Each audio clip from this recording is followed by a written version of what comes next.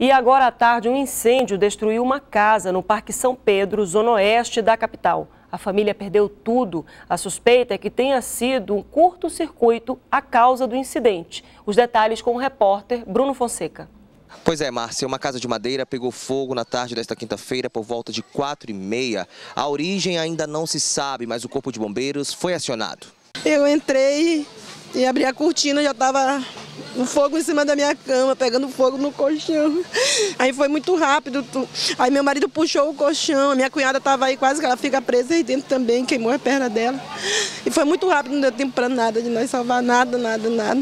Aqui já ainda tinha fogo, estava né, sendo consumido, mas infelizmente é, não deu para salvar as coisas, né? Pode ver aqui que houve uma queima total da residência aí, com tamanho aí de 6 por 7,5 totalmente de madeira a casa, né, e infelizmente foi consumido aí, mas deu para proteger as casas ao lado, né, não passou fogo, a gente conseguiu combater e agora estamos realizando o rescaldo. Na casa moravam quatro pessoas e ninguém ficou gravemente ferido. Bruno Fonseca para o Jornal em Tempo. Muito obrigada, Bruno. Em Presidente Figueiredo, profissionais ligados à segurança pública e órgãos municipais se reuniram para discutir ações ligadas aos direitos da criança e do adolescente.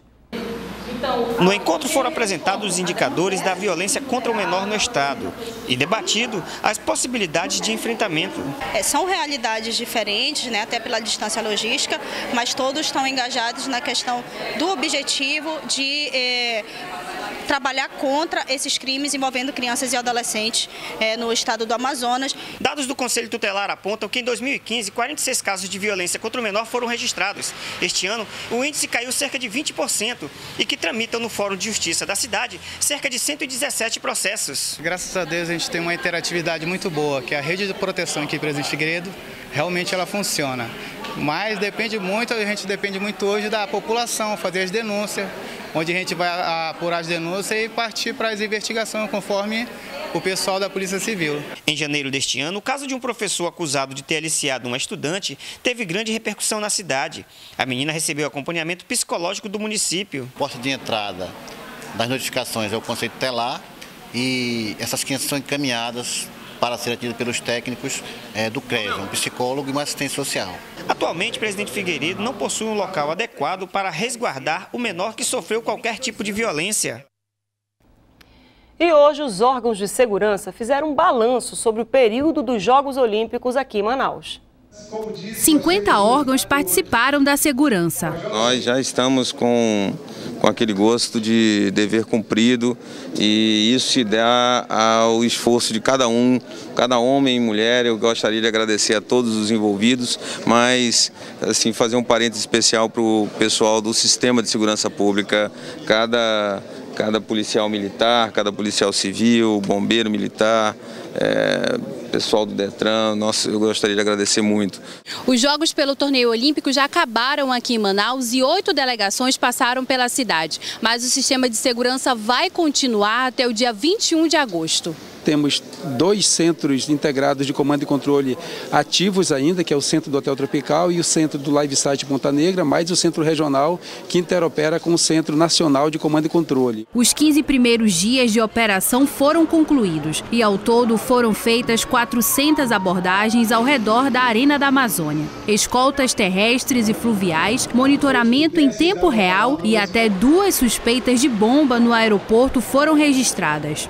A central é, de contramedidas, né, ou seja, de, de artefatos explosivos, né, que tratou de diversas é, situações, como no aeroporto, a Polícia Federal empregou seu grupo especi especial, a Polícia Militar, o Grupamento Marte, para é, é, desativar alguns artefatos que deram falso positivo, ou seja, uma ocorrência não confirmada.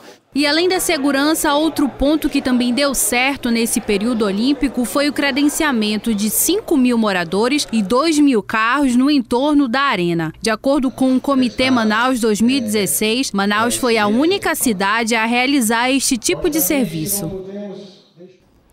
E a seleção brasileira vai enfrentar a Colômbia em partida pelas eliminatórias da Copa de 2018 na Arena da Amazônia. Quem não conseguir ingresso para a partida poderá ver de perto os craques da seleção num treino aberto.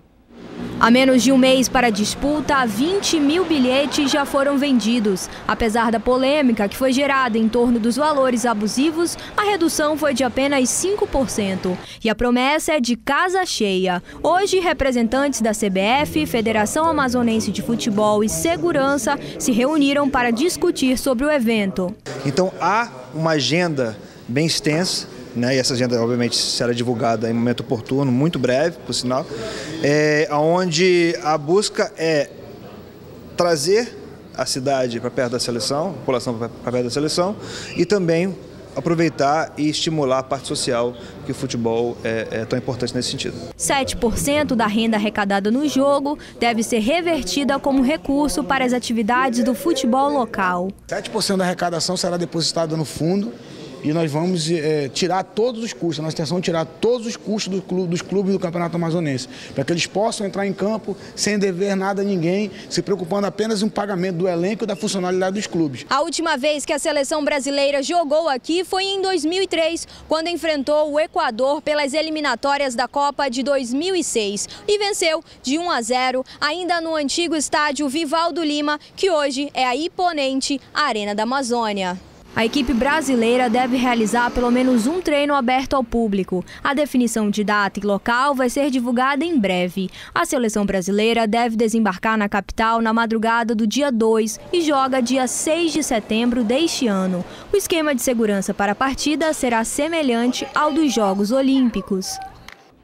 E agora à tarde, um barco pesqueiro que veio de Porto Velho bateu e afundou no porto da Panaí, zona sul de Manaus. Segundo testemunhas, a embarcação começou a afundar a partir das 4 horas da tarde, depois de bater na balsa quando ancorava. 55 toneladas de tambaqui estão dentro do barco e a tripulação tenta salvar a carga que abasteceria as feiras da cidade. O Corpo de Bombeiros foi chamado e até agora não há registros de feridos.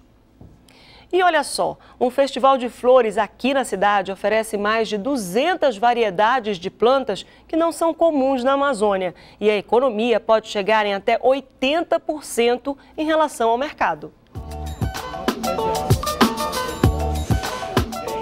As 200 espécies de plantas, incluindo flores ornamentais, foram trazidas de Olambra, no interior de São Paulo, região conhecida pela produção de flores. São plantas bonitas e belas que você quase não vê na cidade de Manaus. Então elas são plantas ornamentais, servem para presentear e algumas também para cultivar. Então é um festival bem colorido. No festival é possível encontrar espécies como orquídeas, cactos e bonsais, que não são cultivadas aqui, por preços mais acessíveis. A economia pode chegar em até 80%. Aqui, uma orquídea custa a partir de 50 reais. No mercado sai em média a 150. Os cactos saem a partir de 30 e no mercado, em média, 100 reais. Seu Sebastião tem uma plantação em casa e aproveitou a oportunidade para comprar novas espécies. Buscar também outras plantas que eu não tenho, flores. De flor, planta que dê flor. É o que eu mais gosto, planta que dá flor.